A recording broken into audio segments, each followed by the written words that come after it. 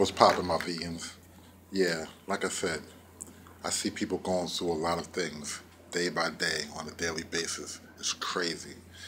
So, instead of keeping the body in a acid state, I stay alkaline as much as possible. Fresh juices,